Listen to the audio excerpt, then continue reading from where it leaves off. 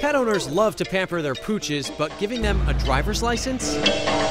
It's a scary fact that over 4 million pets are lost every year, so having your pet ID'd is very important. Mike Scherenberg is the man behind MyPetDMV.com, which is putting a fun spin on personalized pet IDs. All right, Mike, so walk me through how we make this. So going to mypetdmv.com, go ahead and click the big red button that says click to design now. A form will load that'll allow you to populate the information based on your pet. So let's see, I'll put her name, Allie, uh, I put her address, I put her weight, her eye color. Now I love this part where it says restrictions. So I can say other and I put in will bite. Correct. Now you could be funny about that. You could also put um, you know allergies or something that's vital to the health of the pet.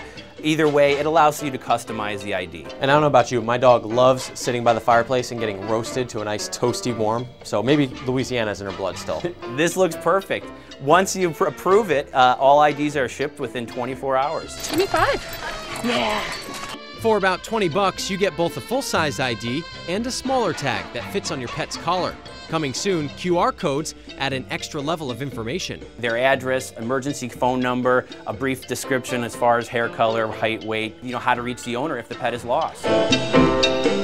Pet owners with the tags like them for their functionality and their ability to bark up a conversation. It's just a really, really fun uh, conversation starter. If my dog gets lost, the police could look at it and find it. I just love showing it off and it's a great ID piece too that I can put in my wallet.